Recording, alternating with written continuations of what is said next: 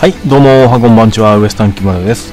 えー今日はですね、回究極テクニカルバトル、絶望と怨念の復讐記、緑の試練編ですね。こちらを攻略していきたいと思います。パーティーとステータスはご覧の通りです。で、アビリティ見ていきましょう。まずはリーダー、漫画露伴ですね。寂しい夢、完全生物、蘇生をつけています。えー続いて、えー緑花太郎ですね。食客の移動、天下、傷つかぬゆえに強者、取り込む経験をつけてます。そして、えーリアリティですね。リアリティ、フル衝撃ブースト、エメラルドチェイン、えーチェインプラグですね。こちらをつけてます。そして、スタンバイにはセロハンですね。安心なだけでして、やよ。そして、喧嘩と愛をつけてます。リンクスキルは、えー師匠たちですね。師匠たちをつけてます。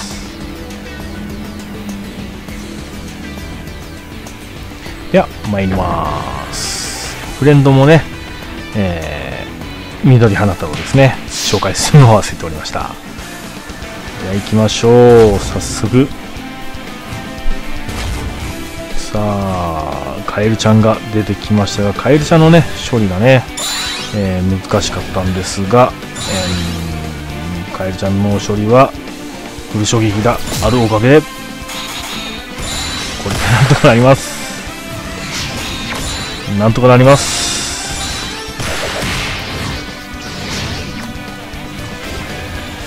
はい、えーここからですね。ここからは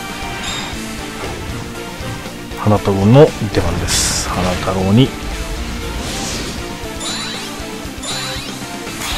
活躍してもらいましょう。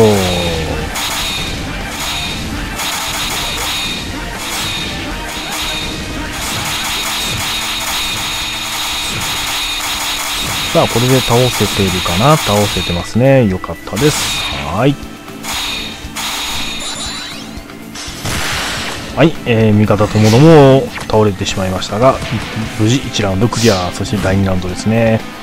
第2ラウンドもえー何かいますけども関係なく突き進んじゃいます。えー、ロハンが倒れてしまいました。ロハンが倒れてしまいましたがえー、蘇生をつけてるのでね回復していきます。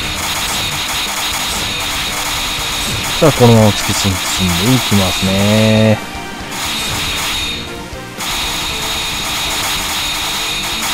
進んでいきましょう。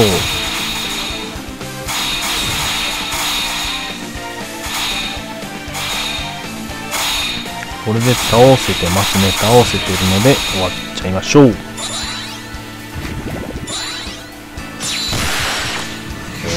おっとドロコンが落ちてきました。うんロハンが？ロハンが落ちてる。これは予定ない行動になってるぞ。これは予定ない行動になっておりますね。これはまずい。これは勝てる気がしない。勝てる気がしなくなっていたぞ。予定ではここで倒れる予定ではなかったんですがうわこれはぜひとも集めないといけないですね。ゲージを5ゲージ貯めないといけないです。5ゲージ貯めないとまずいです。自爆します。はい5ゲージ貯まりました。さあ最終ラウンドですね。ちょっとここでは短期で行くつもりではなかったんですがほぼ、えー短期ではないですね、えーロ セロハンがいるので、えー短期ではないですけどもほぼ短期なような感じで戦っていかなきゃいけないとなりましたね。